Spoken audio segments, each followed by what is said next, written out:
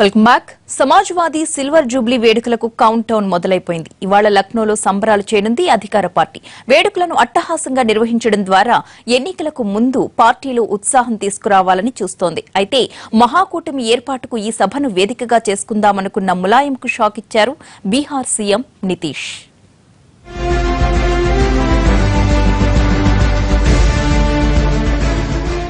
రెండు రోజుల క్రితం వరకు యాదవ్ కుటుంబంలో కుమ్మలాటలు.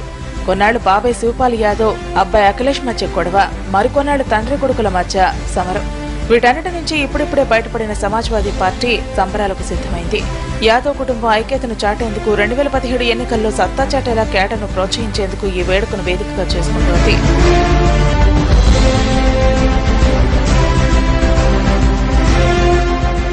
సమాజ్వాదీ పార్టీ ఆవిర్భవించి పాతికేళ్ళవుతోంది.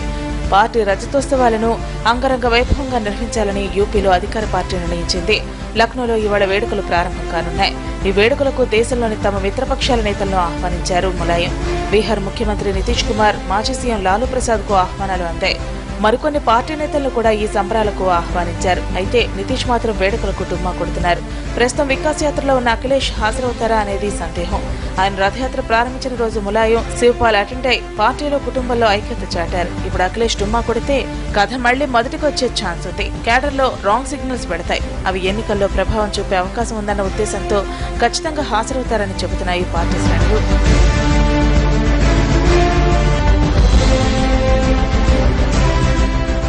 ఈ సభా వేదిక మీద మహాకూటమి ఏర్పాటు చేయాలని భావించారు ములాయం.